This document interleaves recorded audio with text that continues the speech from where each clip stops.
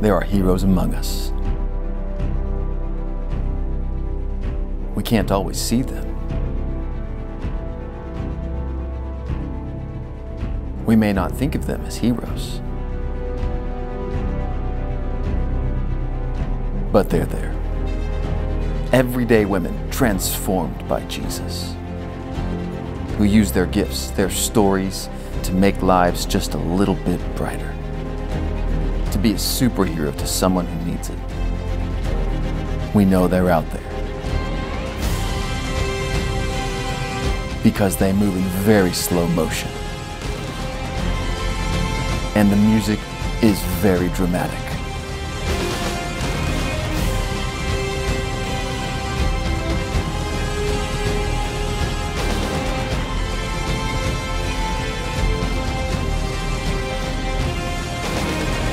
Bring a friend and join us for Refresher on June 11th as we celebrate the heroes among us.